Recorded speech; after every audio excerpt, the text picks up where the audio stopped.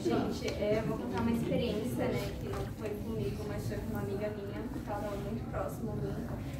Foi em 2019, ela tentou suicídio e foi meio que inesperado, porque eu não sabia conhecer os sinais, eu, pra mim não tinha nada? E é, a gente tinha se reunido na minha casa, ela foi dormir lá com umas três amigas minhas, isso em um final de semana. E ela tava feliz, normal, assim, né? Por fora, vindo de longe. E ela tava sorrindo, brincando com a gente. Aí chegou na segunda-feira, ela tentou suicídio. Ela tomou todos os remédios que ela já tomava antes e desmaiou no chão.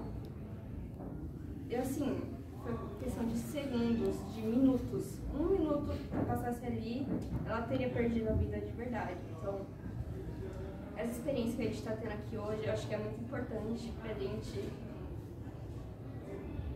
a gente reconhecer, né? Às vezes é o nosso amigo que está sentado do lado e a gente não sabe o que ela passa dentro de casa ou já passou. Então, eu acho que esse dia é muito importante para a gente saber o que, que saber como reconhecer nas pessoas, o que fazer quando a gente reconhecer também. Pra mim, é muito difícil falar sobre isso, porque na época eu não tinha conhecimento nenhum sobre isso, né? Então foi bem difícil. Hoje em dia ela tá bem, graças a Deus, mas foi difícil. Foi quatro anos nisso, tipo, dela ficar tentando tirar a vida. Hoje em dia ela tá bem, graças a Deus.